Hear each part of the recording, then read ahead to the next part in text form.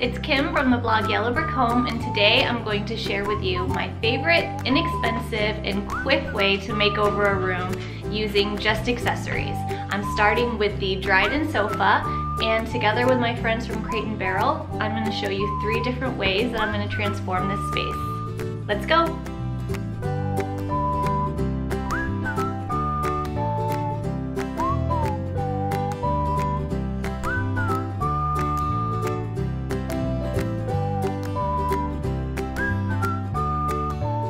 This look starts with a neutral base palette using blacks, whites, and grays. We have a little bit of cream in the poof and one of the pillows. And then I brought in a little bit of color using blue-green pillows that sort of play off of each other.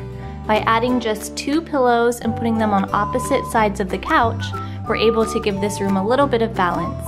I added texture with a big chunky blanket, and I had some fun by adding a sphere pillow to the mix.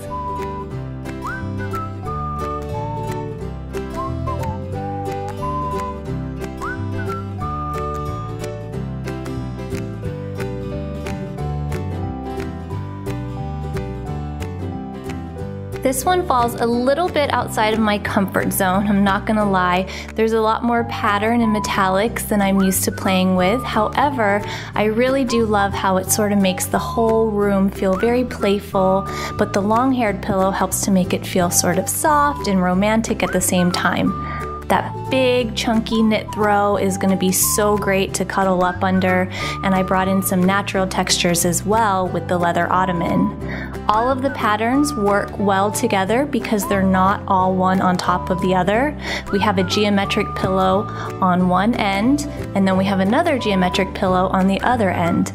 The metallic brings a little bit of shine, and overall I kept the palette pretty neutral just so it didn't feel very overwhelming.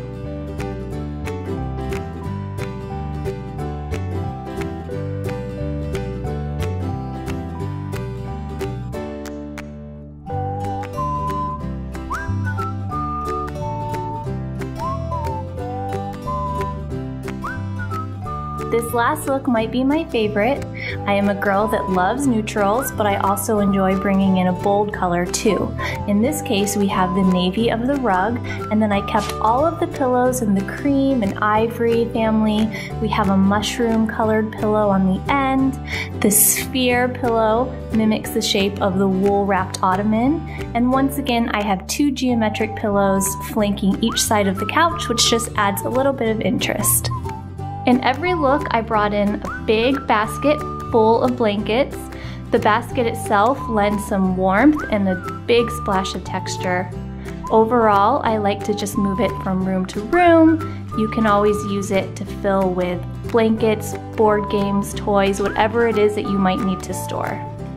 In the end, remember to have fun with it. Keep in mind a few things. Balance pattern with pattern, when using color, remember to bring in neutrals as well so it doesn't feel too overwhelming. And always remember to have fun with neutrals.